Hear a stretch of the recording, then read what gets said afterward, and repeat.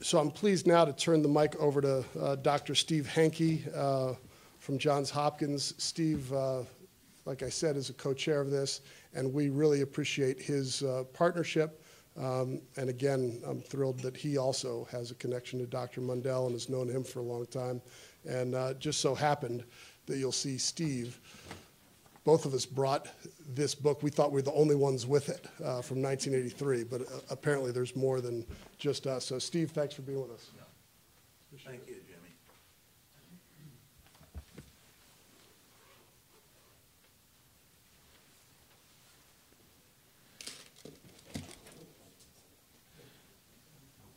Well, ladies and gentlemen, it is a pleasure to be here, uh, particularly with the, the Kemp Mundell tie-in from 34 years ago. And if you go through the volume, it, it's incredible who was actually in attendance 34 years ago. Of course, there was Kemp and, and Mundell, and then you had George Shultz, Art Laffer, Robert Triffin, uh, William Hutt, uh, Robert Weintraub, Robert Triffin, Otmar Emminger, Beryl Sprinkel, Charles Kindleberger, Henry Kissinger, John Davenport, Gottfried Haberler, Jürg Niehans, Lewis Lehrman, Ron McKinnon, Don Regan, Jacob Frankel, Paul Craig Roberts, Alan Reynolds. I mean, you, you had really an all-star cast. It was just amazing that there was ever a conference with that collection of people. Uh, I will follow on really with what, what Bob said in these clips. Uh, the, the title of, of my brief remarks is Exchange Rate Stability, Please. And the first point I'd like to make is that generalized financial volatility is the Achilles heel of capitalism. And it is so because the general public doesn't like volatility. The second point is that business community doesn't like volatility. And, and uh, of course, politicians who always follow public opinion don't like volatility. And as a result of volatility, particularly when it's severe, you have tremendous policy changes that occur.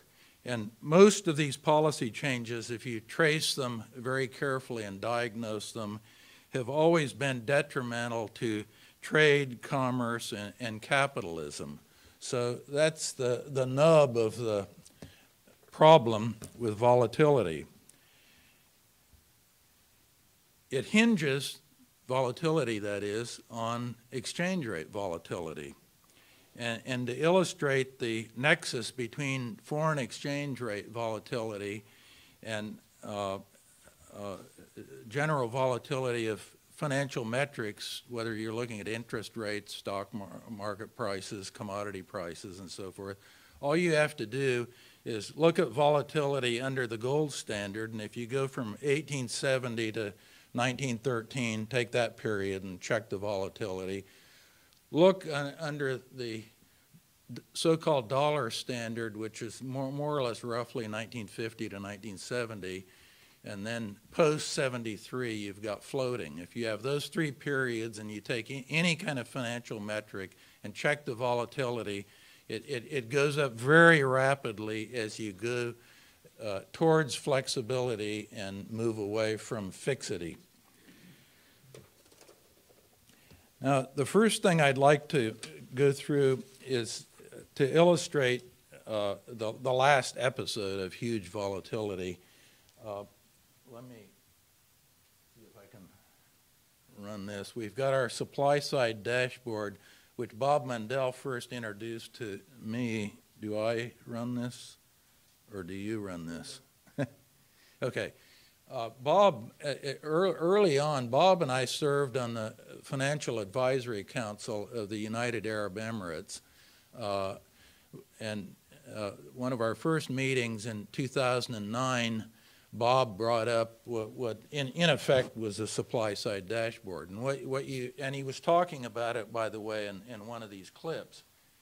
And, and that is, if, if you look at the uh, U.S. dollar in July of 2008, it, it was at one, one, the dollar euro rate was one point five eight. The dollar was very weak.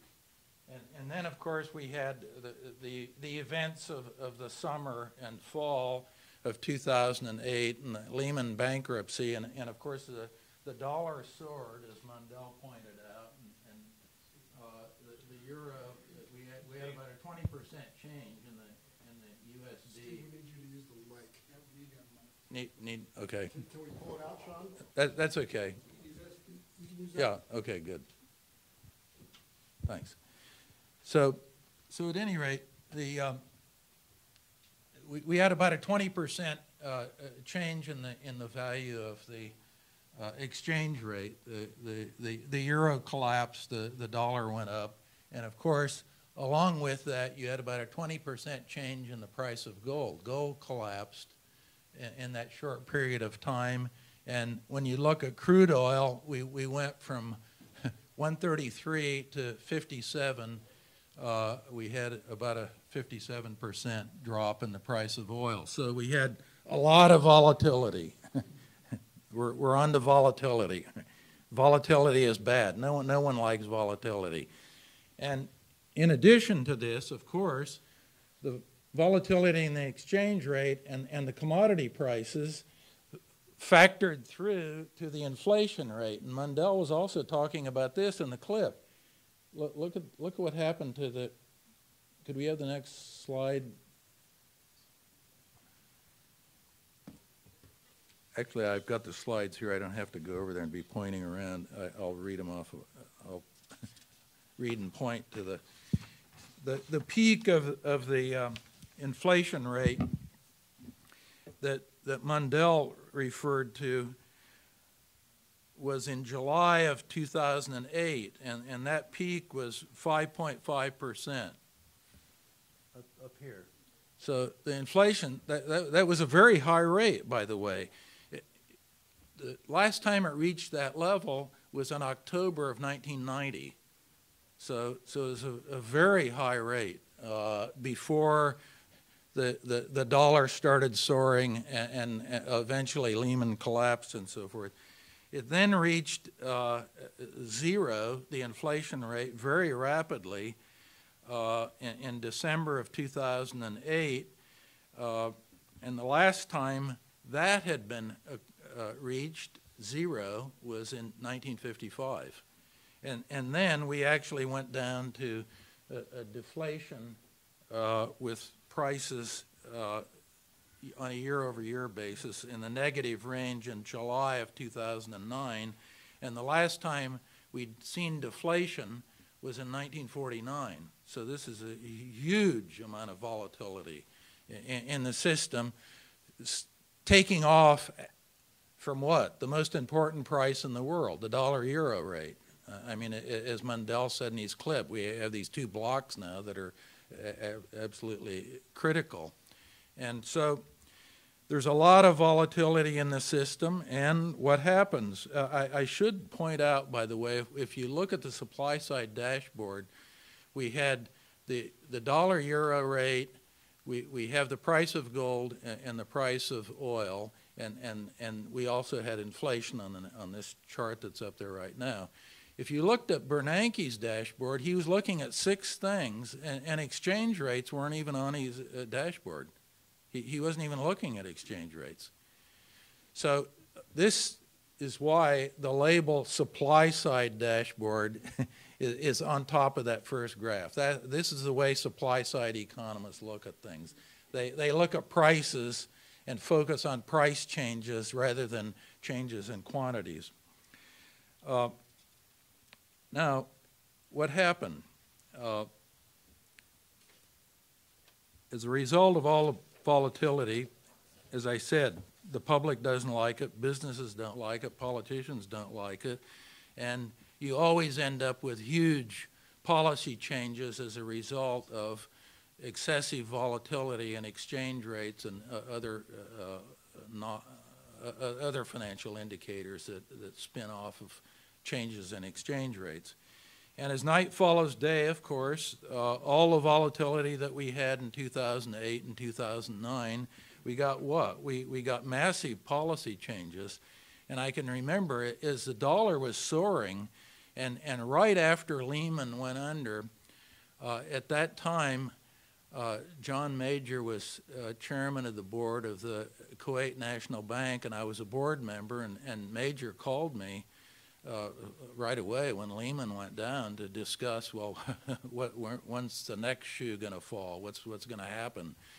And neither one of us came to much of a conclusion about anything specific, but Major made a, a, a point that stuck with me, and he said, he said, as a result of the volatility that we've seen and, and this pretty spectacular bankruptcy of Lehman, we, we, are, we both concluded that there will be huge changes. We don't know what changes in the policy realm, but there will be big changes. And I remember that really did stick with me after quite a long conversation with Sir John.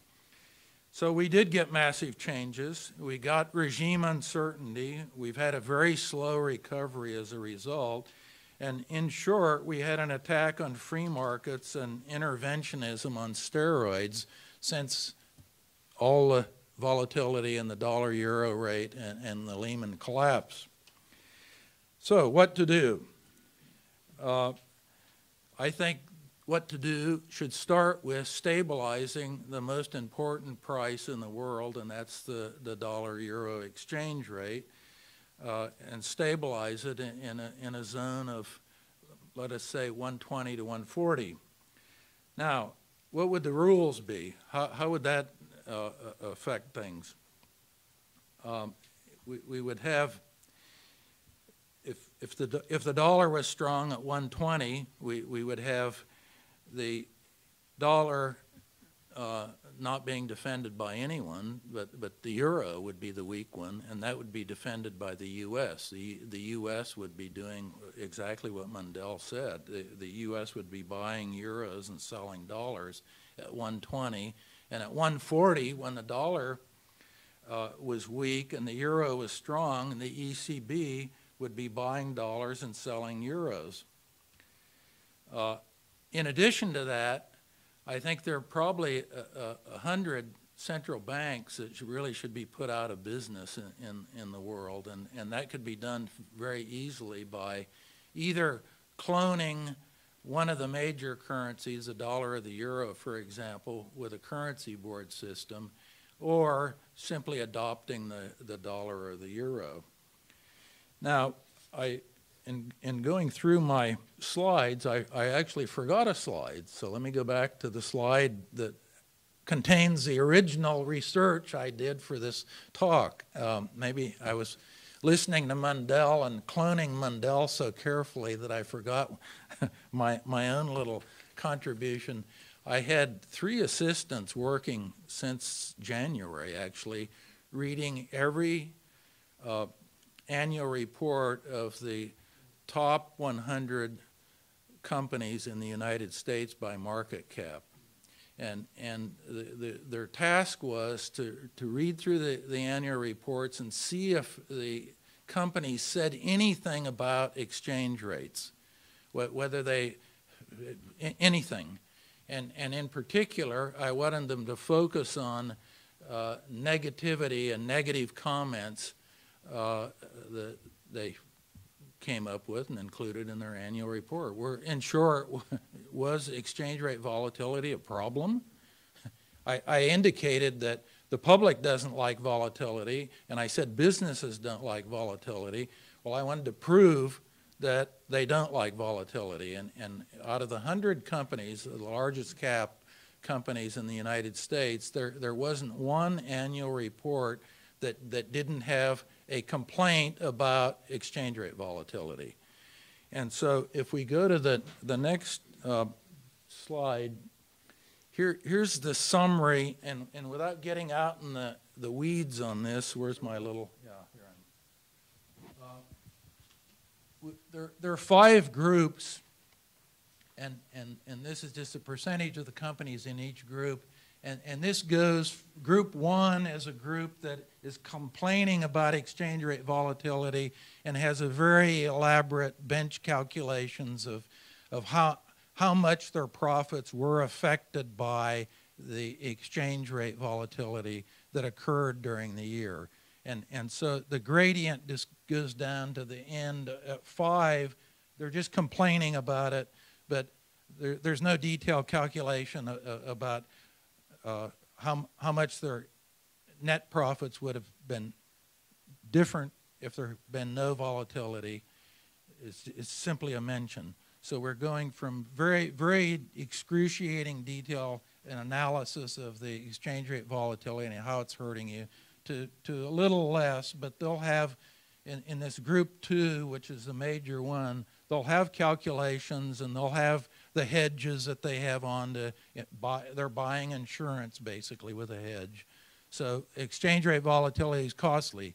You, you, you have to buy insurance. If you didn't have exchange rate volatility, it would be the same as uh, telling you that uh, it's impossible to have a fire in your warehouse, so you, you don't buy fire insurance. So it, it, has a definite cost, not only in the in the hedges that you're putting on; those are those are not free.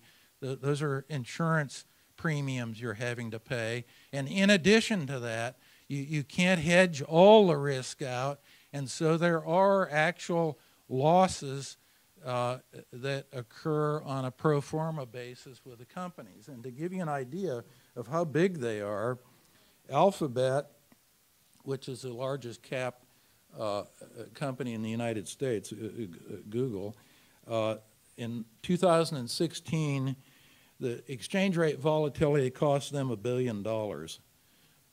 They're, they're in group one. In, also in group one is Microsoft, and, and uh, uh, in the annual report, they indicate that their losses associated with the exchange rate volatility were 3.3 billion. So we're, we're not talking about chicken feed here, and they're, and they're all hedging too. Both Alphabet and, and, and Microsoft are hedging, and they, and they still lost a billion in terms of uh, uh, Alphabet and, and 3.3 billion in terms of Microsoft. In the second group, Procter and Gamble, uh, their losses uh, it, it, due to exchange rate volatility were 880 million. So um, almost a billion dollars. So very large uh, uh, amounts of money, and, and that is the reason businesses don't like volatility. It, it literally hits the bottom line in, two ways. One, you, you, you're exposed to losses and you take them with some of these big numbers I've given you, but also you, you've got to buy insurance. Or, or, or you, almost all of them are, are hedging and buying insurance too. Let me just end by my remarks by saying it's time for U.S. monetary policy to be internationalized. Stability might not be everything, but everything is nothing without stability. Thank you very much.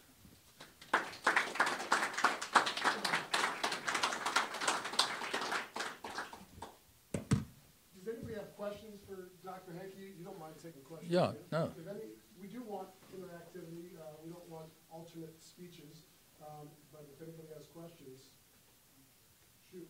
Um, can I get that microphone? Would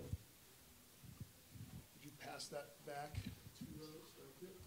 Just tell us who you are and, your question. Hi, my name is Louis Woodhill. I'm a software venture capitalist. Um, I just want to understand how the stabilization mechanism would work in a specific case. Let's say that uh, we have a euro dollar exchange rate of um, a dollar thirty, and um, some big country, India or something, decides to adopt the dollar as its currency, and the the FOMC doesn't react to that demand for dollars, and the exchange rate um, goes to a, a dollar per euro because the dollar gets more valuable. How does the who does what in your system? Well, in, in that case, the, the, the U.S., and I'm, I'm leaving it vague. I mean, as Mundell said, it would uh, technically be the Treasury uh, unless they uh, change things. They, they would be buying euro. The euro would be weak, and they'd be buying, buying euros and, and, and uh, selling dollars. So that, that would weaken the dollar. You, you'd come back up from uh, you know, unit one unity to, to 120. I mean, they. So, so that's. I'm not getting into the agreement they would need to put in place to formalize this. This is, but that's the the the, the the mechanics of what would go on. Right here. Uh, Michael Lachansky, graduate student at Princeton, and uh, probably going to be at Department of Transportation soon. Um, it seems like one alternative that a lot of the companies are pursuing is, uh, you know, hedging. So, are there any supply side proposals for increasing the depth and completeness of financial markets as an alternative to uh, exchange rate stabilization policies? Uh, Not not that I know of. Uh, I mean, the, the, the the foreign exchange markets are so deep anyway, uh, e- even, even, even minor ones like the South African rand, I mean, they're trading, uh, uh, uh, very large amounts every day. I mean, all, all these markets are very liquid and, and very deep, so. Seems like the cost of volatility should be that you're imperfectly hedging, right? So that's a normal econ perspective on this, and uh, so that's why I was curious. Is it- Is it possible that all 100 companies have imperfectly hedged in the, uh, over the last? Well, i- it's, it's, you know, show, show me somebody who's put a perfect hedge on. I mean, it's, it's a, yeah, it, it, it, you, there, there, there's no one that has a, a perfect insurance policy that, uh, that, that covers absolutely everything, no matter what the cost. So, so these large losses that I indicated at, at Alphabet, uh, Microsoft, and Procter and Gamble, they're, they're all hedging. But they, they, they might decide they don't want to fully hedge. I mean, almost no one hedges hundred percent. Number one, it- it- it- no one hedges hundred percent of their hypothetical risk exposure even, because it, it, it's, a- it's a cost game, and, and it might end up, in their view, and given their expectations, cost them more to, to put the, the last little bit of hedge on to get perfect, so to speak, uh, than, than it's worth.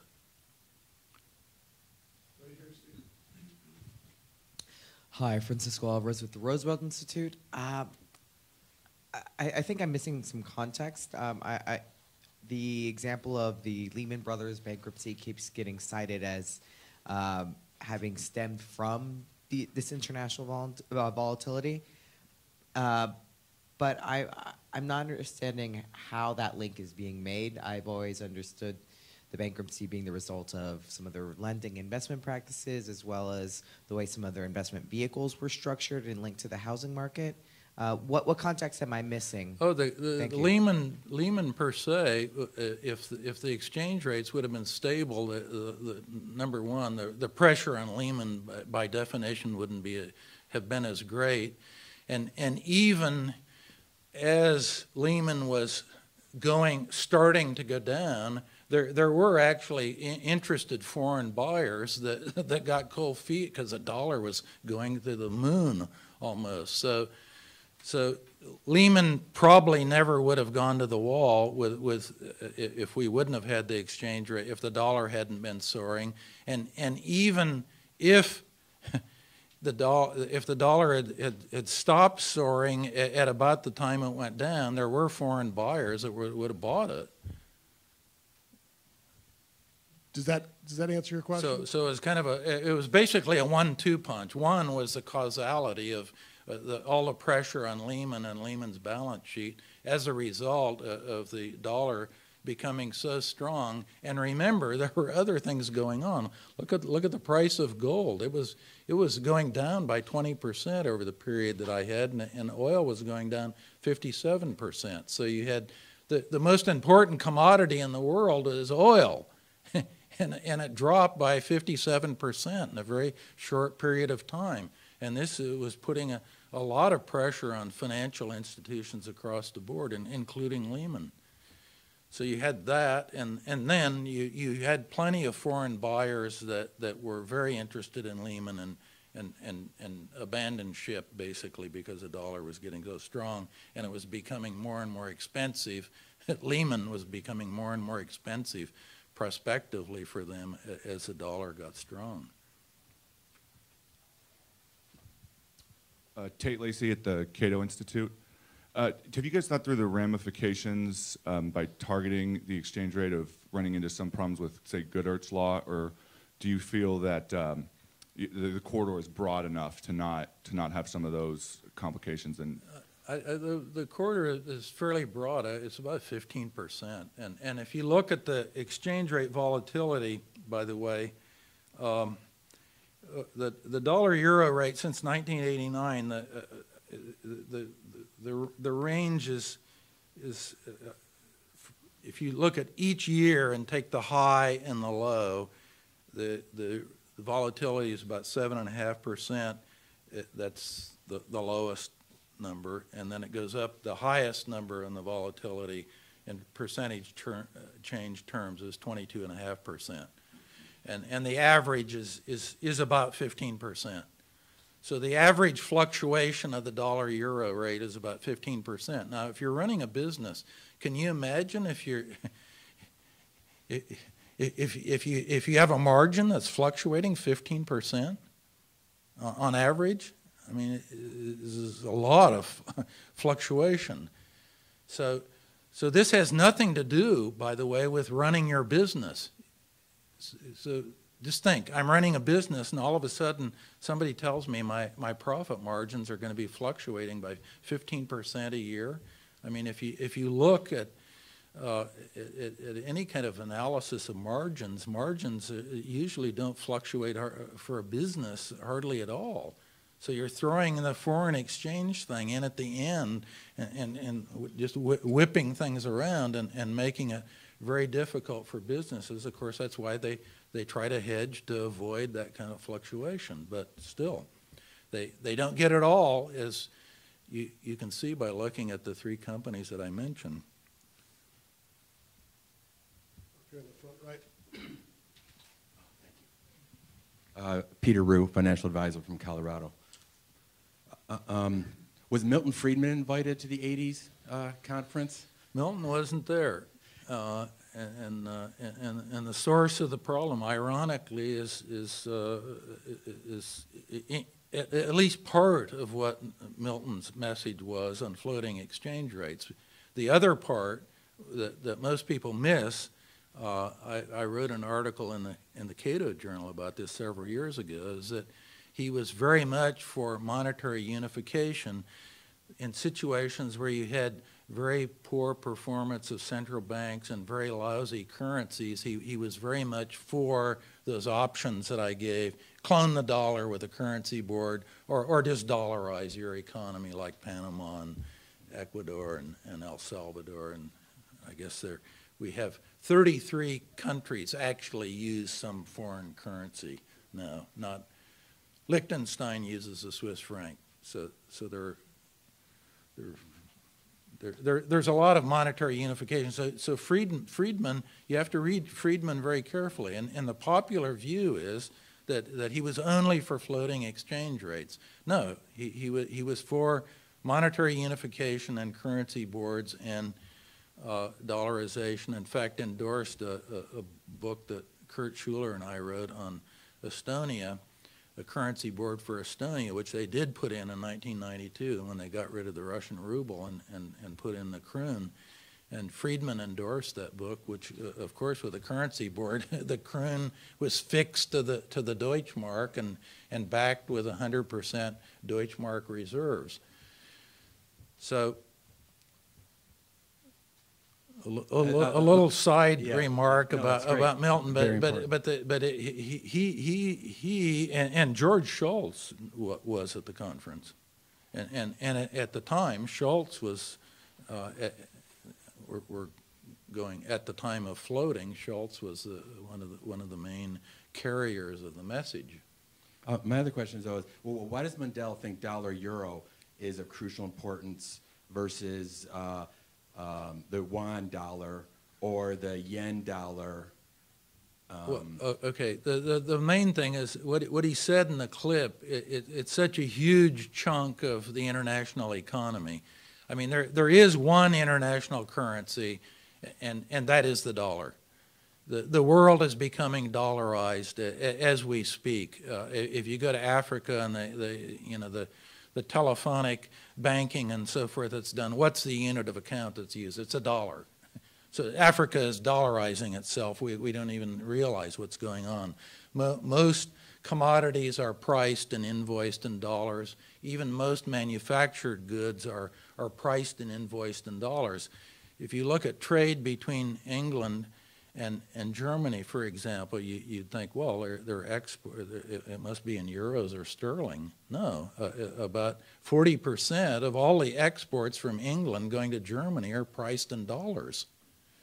So, so we have the, the dollar is a reserve currency, so forth, so on. And, and in terms of just economic size, and I know the way Bob thinks about this, he just looks at the size of the economy, and, and that's the, the thing that counts. So if you look at the size of the Eurozone and the size of the United States, you, you got a big, got a big block there, and, and one of them happens to have the international currency in it. The other one has a big regional currency, the euro, and and and Bob's view as well as mine. I mean, I'm just repeating what he taught me, uh, which I believe is that that is the most important price in the world, the dollar euro, and it's just size. It's just the size.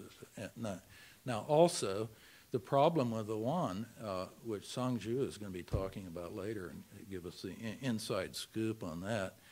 Uh, the, the problem, it's not convertible. So, so in, in fact, it's kind of in the, in the, it, it will become, I think, important. I think Mundell, more important. I think Mundell also has the same view. He spent a lot of time in China and working on the, on the yuan and convertibility of the yuan. The key is to get the yuan convertible, and then, then it will be part, there'll be the big three. The, the yen is, is just an important, hardly regional currency. I mean, it's, it's really a domestic currency.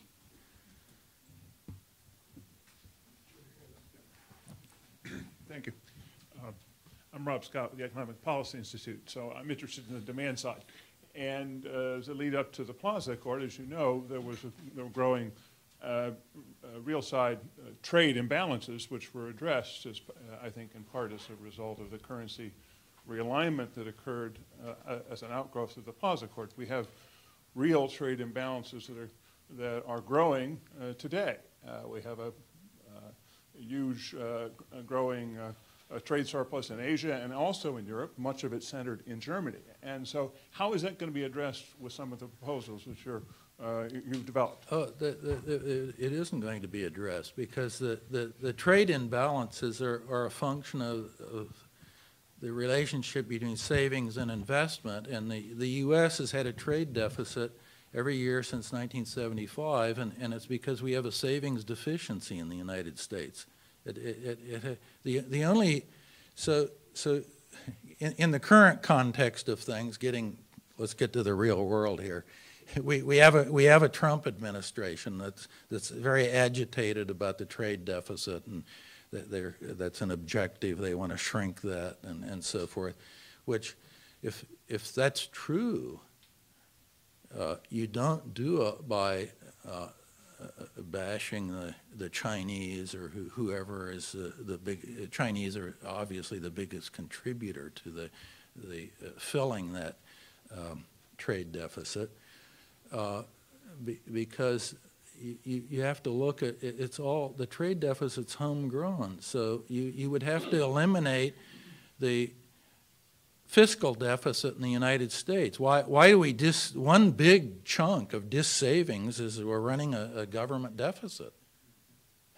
so if I wanted to shrink the the trade deficit, if I thought that was important, which I, which I don't think it's important my, myself, but if I, if I thought it was important, I wanted to shrink it, the, the way to do that would be to change from a fiscal deficit to a fiscal surplus. And in the United States, and the savings deficiency would shrink dramatically, and the, the trade deficit would, would, would wither quite a bit. Maybe it wouldn't go away. So how do exchange rates fit into the picture?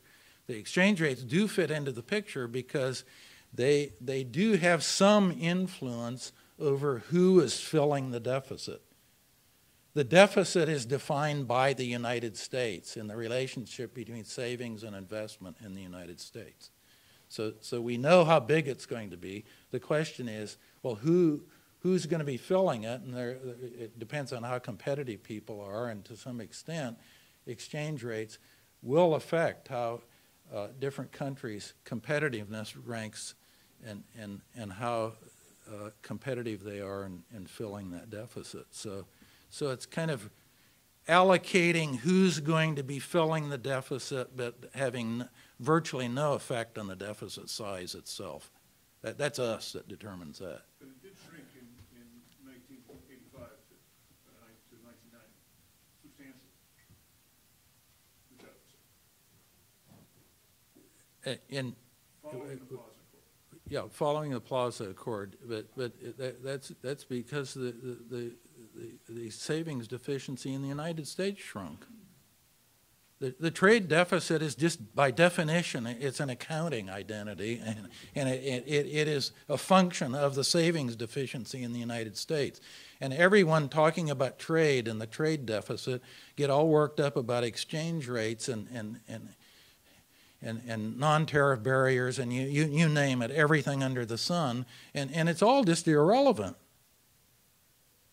It's, it's our savings deficiency. That, that's what drives the and, and determines the size of the uh, trade deficit that we're facing. So I, my, my, view, let, us finish with the Trump thing a, a little bit. So what, what's my uh, likely scenario? Let, let us say that everything tr- the Trump administration said they wanted to do, they, they actually can do.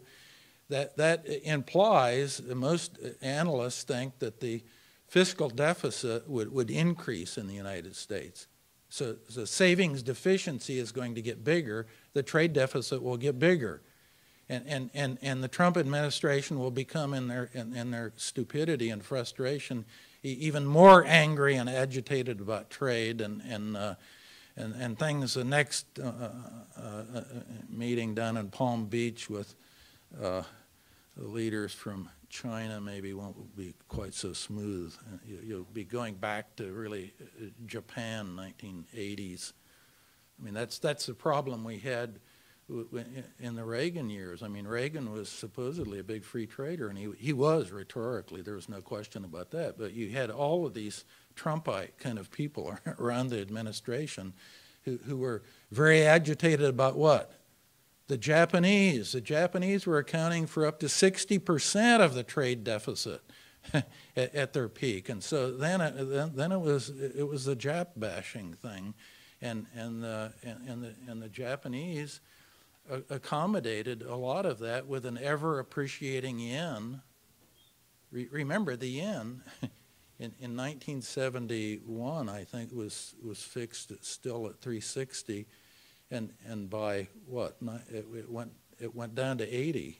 I mean, it, it was it was ever appreciating because un, unlike the Chinese, the Japanese were letting their arm be bent and, and twisted as much as possible, even to the extent where you had voluntary restraints by the Japanese put on themselves uh, to, to stop exporting cars to the United States in the 1980s. So that, that's how bad it got. But, the, but, but what was the problem then? The, the problem was the savings deficiency in the United States. That, that was the engine driving the trade deficit. So we have time right now for, for one more. Yes, And, uh, uh, Song Zhuoxian from uh, Renmin University of China. Steve, you proposed to stabilize dollar euro exchange rate between 1.2 to 1.4. I remember at least seven years ago, Bob Mundell proposed the exactly same idea. Where, Very short where, question. Where do you How think I got the idea, Yeah. Sangju? Yeah. How high probability to realize the mechanism? I don't think it's possible Oh, I, I, for I uh, think, U.S. And uh, I- I- Euro to sign agreements to I- do that. I, I think the probability is uh, close to zero. I i it's too bad. I, I, I'm, I, I, I, I so Steve, that that's we. not- That's not optimistic Kempian. No, no, no, no, no, no, Jimmy, th- this is a very Kempian thing because, because your father would, would, was, would, would swim uh, upstream uh, uh, against the flow. And, and he would do that, as you indicated. He, he could articulate and explain to people wh- why he wanted the, the Kemp Roth tax cut, for example. And, and, and public opinion drives politicians. That is the only thing they live by, believe it or not.